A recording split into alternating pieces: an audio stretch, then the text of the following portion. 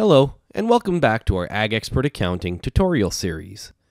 In our previous tutorial, we talked about how easy it is to add opening balances to your accounts in your first year using our program. You can watch the tutorial I'm referring to by clicking on the link below. Carrying over previous year's payables and receivables into your books can be a little daunting. That's why we decided to cover this topic in this video. Let's dive in without further ado. Sign into your account by visiting www.agexpert.ca.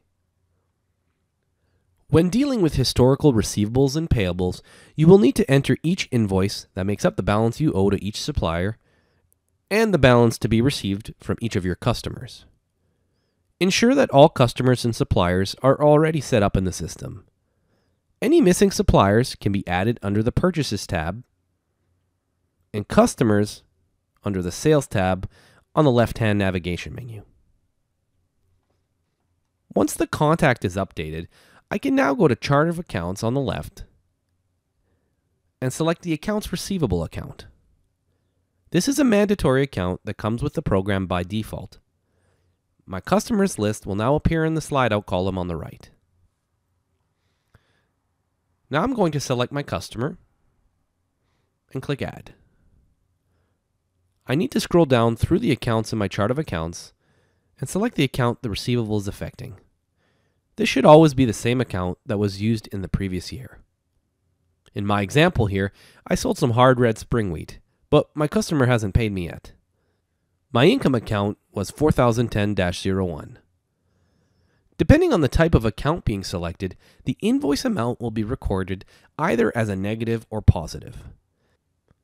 This is where it can get a bit confusing.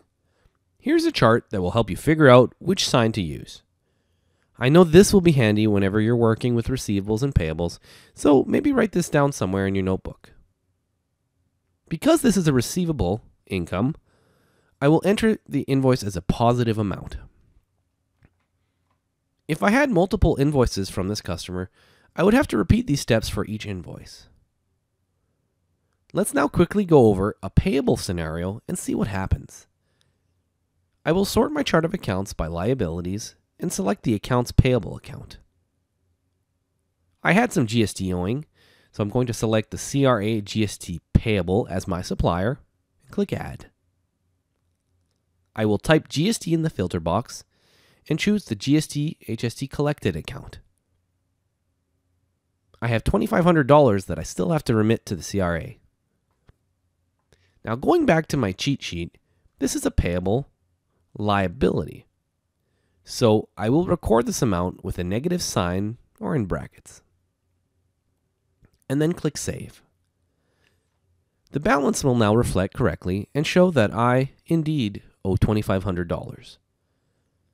Once my payment is made to CRA in that current year, I will be able to find this invoice in my payables and apply the payment to clear the account. And that's it. That's the end of our tutorial. As you can see, AgExpert is solid, simple, and built for the farm. It's easy to use, and it's never been easier to get started with a digitized bookkeeping application. As always, if you have any questions, please don't hesitate to reach out to our customer care team. Thanks for watching, and take care.